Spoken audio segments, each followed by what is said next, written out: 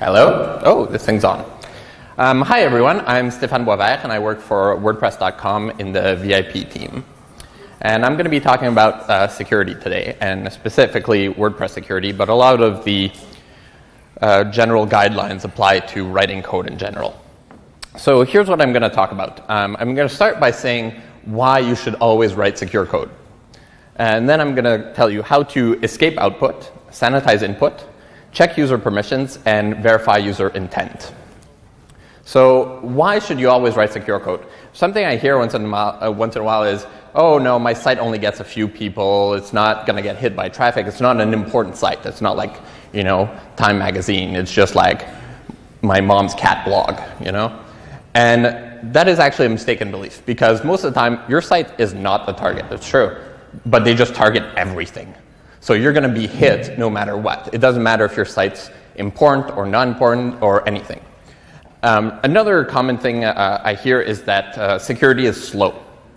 And uh, we've made a bunch of benchmarks, and you can uh, Google for that. But security is like adding escaping and adding uh, WP kses, which I'm going to talk about on your site, barely equal to one mediocre SQL query. So you should always add security. You should add as much as you can and not worry about the performance of your site. And I'm going to think about some other reasons later and put them on there. Uh, so let's talk about escaping. So why should you escape uh, variables? And uh, you'll notice as I go through the examples that some of them will still be insecure after the thing, but we're going to go and through the whole talk, we're going to completely secure them. So what, what happens? So let's say you're using uh, the get variable and you say username, which is something uh, lots of people say. They're like, okay, enter your username, and then you output it back on the screen. So if you do this and output the username, what if a user puts in username equal script alert bad? So what's going to happen is you're going to see that script being run and interpreted uh, by the browser. So you're saying, okay, but uh, script alert bad, that's not actually like a bad thing. I don't care if I see like a pop up if they made that happen. I mean, how, how is that going to break anything? So it's not, the alert is not going to break anything, but you can easily steal cookies. So here, let's say I, I say username equal and then create a script and then encode the cookies and send them to my personal server. So um, uh, what happens is that you can get values that are thought to be secure and have them sent to an external uh, site. So one thing people say is like, oh, no one's going to click on a link that says script tag and alert bad and cookies and etc. Um, but what you can do is you can encode all of the values and it's going to be interpreted by the browser. So if you look at the top, that just looks dangerous. You're just like, oh no, no one's going to click on that URL. But if you look at the second URL, which is the exact same thing, people are just going to be like, oh, it's just a bunch of web gooply gook, and I don't, it's bound to be safe. I mean, what could possibly go wrong? Um, so the first thing people think about, they're like, all right, got it, Steph, I understand. How about I use strip tags to remove all the tags uh, from the uh, things I'm going to echo, right? That's bound to fix everything. Um, so let's say you were to use strip tag and you're like, okay, I want to let people have hyperlinks and uh, B tags and I and images. Usually you don't let that in a username, but for this example, it, let's say it was a comment. But what if people do this and they pass image on error alert equals bad? So that's going to actually run that code because there's going to be an error. And although we thought that images were safe, what we can also do is put, let's say, a B tag and say on click alert bad. So let's say they click on the name because it looks like a URL, they're going to run the arbitrary JavaScript.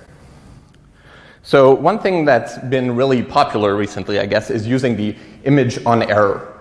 Um, so let's say someone does a comment on your website, and you let them put images. You're like, oh, I'm going to strip tag uh, all the nasty stuff, but I'm going to leave images on so they can put that. Well, someone can just put this in the image, and that's going to run automatically because source throws an error. So it's going to send all your information to a remote server. Um, so let's talk about a bit more on um, escaping and sanitizing and database values. So let's say you're like, everything in the database is safe, so I don't need to escape it, right? But often people will be like, okay, I'm going to insert something in the product review here, and the, the value, I'm going to strip the tags because, you know, I'm safe like that, and I'm only going to keep the A, B, I image, in etc. But now, when you pull out from the database, um, your, your JavaScript here and the, the bad stuff is stored in the database, so you're going to echo it. So that's how you can get consistent. It's not just um, like, oh, someone put in on a URL parameter, and it's not going to happen to every other user, it's just for themselves, so it doesn't really change anything. But they can store bad data in your database, and then you'll be stuck with it, and all your users are going to see it. So, um, what you can also do um, if you're clever, and this depends on how you're escaping, but you can just be like, okay, I'm going to remove all of the tags all of the tags, and then I'm going to be safe. But what if someone puts two comments? And the first one, they have this image source, and then in the second one, they have that. And those look like great comments. You want to have those great comments. You want people to love your product. But then what's going to be happen is the two comments together are going to end up being interpreted by the browser. So even if you try to strip all the tags, um, it, since those aren't valid tags, depending on how you did it, it's not going to work. Um, so that's why you should always escape yourself before you wreck yourself. And there's built-in uh, escaping functions in uh, WordPress which help you do a lot of things. And one of the things that um, is very useful, as long as you're aware of it, in the WordPress escaping functions, is that they'll never double encode. So you can always just be like, I'm not sure if this is encoded or not. I'm just going to run it again through that. So you, it's just something you need to be aware of, but how you can just often just be like, uh, I'll just escape it anyways. So there's a few functions. Um, there's escape HTML, escape attribute, WP kses, which is a series of functions, and WP strip all tags. And there's escape URL, uh, escape JSON, and uh, escape JS, sorry, and WP JSON encode. And I'm going to talk about these a bit more in detail here. So when should you use escape HTML and when should you use escape attribute? So if we look here at the top and we were like, okay, instead of echoing um, the random string that I got from the user, I'm going to echo it inside the escape attribute, I'm going to echo it inside the escape HTML. So before, that was going to be interpreted here, right? That image thing. Whereas after, it's going to be safe. It's going to be encoded, so it's not going to be run as code by the browser, but it's going to literally show these characters. So this is going to show up on the site, but it's not going to be encoded. It's not going to be a live JavaScript that can be run by the browser. So WP kses is a function that strips evil scripts. And uh, what it does is, let's say when in my previous example where I was like, I'm going to strip tags, but I'm going to keep the image one, um, that's the one that helps make it secure so that you know you can trust this image tag. So for example, let's say this is your string here, and there's the on error alert bad that we had before. If you run it through WP kses post, what happens is it removes everything that shouldn't be there. So before we'd have the on alert bad, and now the whole on error is gone and we only left with the source and the valid href here, and the href's on click that was bad is also removed. So you can always pass things through WP kses, and it's going to strip all the evil scripts and not just, and also remove the uh, evil attributes. Um, there's a few functions uh, for WP kses. The most easy one and the one that applies 99% of the time is WP kses post. So it has a bunch of pre-built defaults, and by default, it's going to strip out anything that you probably weren't expecting. Um, but now, if you have like a web app or something, it's also going to remove um, uh, attributes that it doesn't think are valid. So anything like data dash or etc. So what you can do is you can run either WP kses um, and then pass it a list of allowed tags and allowed attributes. So you can fully customize that. So let's say you only want A tags, then you can do that there. Or you want to allow style on a certain tag. Um, you can also use the WP kses allowed HTML filter uh, to change the default list of whitelisted arguments. So if you have your data-id attribute, you can put it in the allowed filters list, and then it's not going to get stripped when content is run through WP kses. Um, escape URL is also a fun function, and it not just escapes your URL, but it tries to fix them up if there's something wrong with it. And it's going to get rid of anything that shouldn't be in the URL. So you see here uh, the script tag, uh, the lesser than and greater than sign are just removed completely because they shouldn't be there. And so other things is let's say you escape a URL called stephboisvert.ca, it's going to add the HTTP um, at the beginning, or HTTPS if you're running a HTTPS site. Um, Escape.js is the one that's most often misused.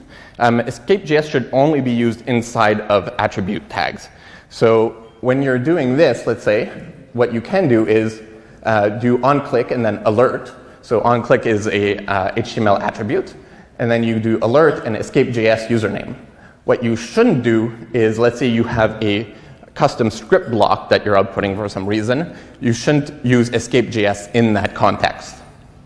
So what differentiates escape.js from escape.html and escape uh, attribute is that the single quote is allowed in escape.js. Uh, it also is going to remove line endings, so slash r slash n, um, so that your JavaScript doesn't break if you put it inside an attribute tag and you have a line return that you weren't expecting. Um, so what you should do when you're outputting um, arbitrary uh, JavaScript values is use WP JSON encode. So WP JSON encode is a wrapper around JSON encode which supports all the new parameters of JSON encode in the previous version. So let's say you're running 5.2, which you shouldn't be for no reason whatsoever, but let's say you are. Um, the extra parameters that JSON encode uh, has from, I think, 5.4 and upwards um, will be supported by WP JSON encode. So you know that your, your script is not going to fatal on some old servers. So one thing to keep in mind when you use JSON, uh, WP JSON encode is that you shouldn't use uh, quotes outside of it. So you, before here, we had like a quote around the escape.js. Whereas with WP-JSON encode, the values, let's say it's a string, is going to be encoded and wrapped in um, uh, quotes. So next thing is to sanitize data. So how are we going to do about that? So this is the classic comic that everyone saw from XKCD about how you, if you don't sanitize your data, your database is going to drop because someone's name is Robert Drop Table Students, which is a great name. I'm going to probably name my kid that. Um, so what happens is that you can run a drop inside if you haven't sanitized your data. So let's say here, okay, we're using strip tag again. We're removing all the bad stuff. But if someone puts in and review equals uh, uh, apostrophe, semicolon, drop database, that is probably going to be run. And that's kind of a bummer when you lose your database. So how do we sanitize database? Um, so the first thing you should always do is use a prepare statement. So here we see that you're using insert into product review values and then uh, percent %s and then the value get review is uh, sanitized for database entry. Um, now, that's safe and that's good. It's not as optimal as it could be because you should always also strip as much stuff as you don't want and are not expecting um, as soon as you get it. So you should get and pass it through WP kses post so it removes other nasty stuff. So if ever down the line there's something that's insecure, it's still going to be relatively okay. So um, escape-like is often also misunderstood and misused. Um, people think that, oh, I just write my query and I'm going to escape-like it, so it's going to be safe. And then they're just going to build their query like this, and you see there's no use of prepare. It's just passing escape-like, and then we sanitize the text field, which is a function I'm going to talk about later, which is supposed to sanitize stuff, so we think it's safe. But then, if the get review um, has bad things, it's still going to go through because escape